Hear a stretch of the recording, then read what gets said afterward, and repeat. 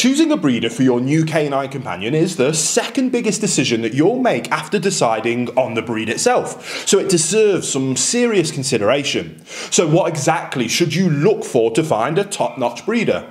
Now, that's what today's video is all about, and by the end of it, you'll know if you found the perfect breeder for your new German Shepherd puppy.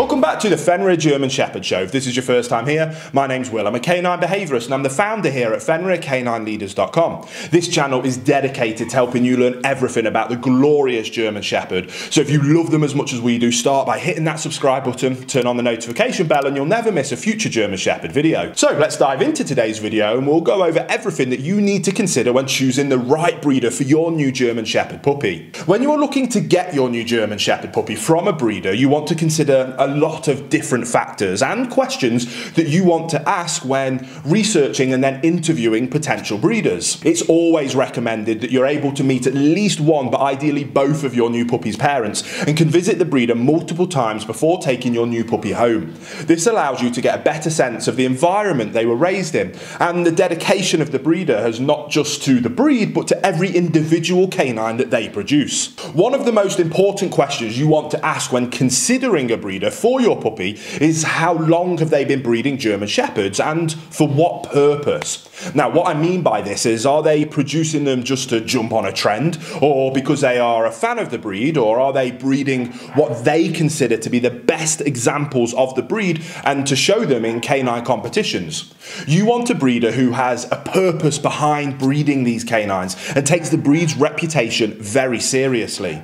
Now, by going and visiting the breeder, you're also able to see the health of the parents and the siblings of your new puppy to make sure this coincides with what the breeder has told you is the typical life expectancy for their dogs, as well as to see if there are any obvious health issues with the mother or the father.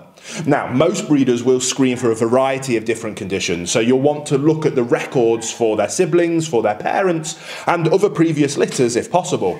German Shepherds for a time were irresponsibly bred for a sloping top line, meaning that their hips were considerably lower than their shoulders. As you can imagine, this is a nightmare for their joints and causes arthritis and other painful conditions long before they reach old age. Make sure the breeder you choose doesn't follow this destructive trend and breeds their German Shepherds for a natural and functional skeletal conformation. One of the best parts about getting a puppy from a really high quality breeder where you can visit several times is you get to see the temperament of your new German Shepherd compared to their closest relatives. Hey guys, if you're not already, you should be following our Fenrir Rescue Diaries over on Fenrir Canine Training channel. That is following my journey of working at a rescue centre, helping dogs that have been abandoned, abused, given up, or found as strays, and helping implement behaviour modification programs to allow them to become perfect canine companions that can be rehomed to their forever homes. So if you're interested in following my journey of how I do that, there'll be a link to that channel down in the description box below. I think you'll really enjoy the journey, but I'll let you get back to the video you were just watching. With puppies, their personalities is often influenced by their early environment. In many cases, it will be quite evident if your visit is the only attention they get or if they are frequently in the home and interacting with others as they should be. Your puppy's parents should be exemplary examples of everything that you hope your new German Shepherd puppy will be as well when they grow up. You'll want to ask the breeder questions regarding other litters that they've had, as well as the parents of your new German Shepherd puppy. Were their intelligence and guarding instincts uh, really tested, and what are they like? Since German Shepherds are very protective by instinct, this will give you an idea of what you might expect from your new puppy. Even if the breeder says that the dog they produce have a low level of reactivity, you will still need to be very thorough and disciplined in their training and socialisation, no matter how well adjusted and well socialised the German Shepherd was as a puppy. They are an imposing and powerful breed that absolutely must be well trained and socialised throughout their entire lives.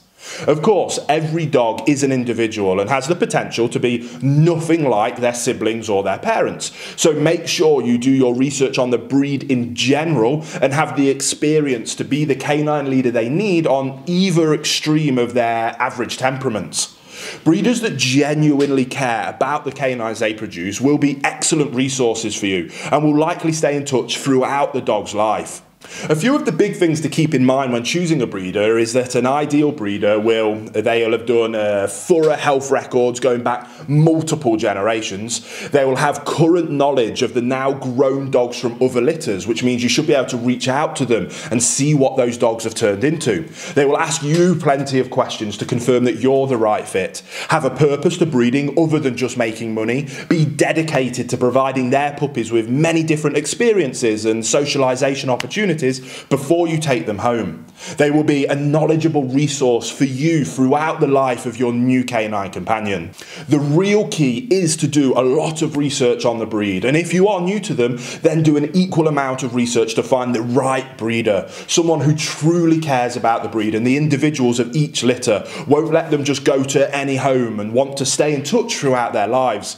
Responsible breeders play a considerable role in the success of your relationship with your new German Shepherd, and it's not a decision that you should be making lightly. Now, I hope you enjoyed that video. If you did and you found it useful, please give it a thumbs up, and remember, if you're new, to subscribe, turn on that notification bell, because I can't wait to speak to you again on the next episode of the Fenrir German Shepherd Show. Hey guys, very quickly, I just wanted to ask, are you following us over on Instagram? If you're not, there's two accounts I would love for you to check out. The first one is our brand account, at Fenrir Canine Leaders, where you can see more about our industry leading products that we create. If you're interested in following me personally, that's at I am Will Atherton, where you can see behind the scenes of me working with some of the most extreme behaviour cases in the world and what it takes to run these kind of YouTube channels. And maybe if you just want to be able to come over and chat with me, that's the place for you. So there'll be links down in the description box for both of our Instagram pages. I'd love for you to come and check them out, and hopefully we'll chat over there.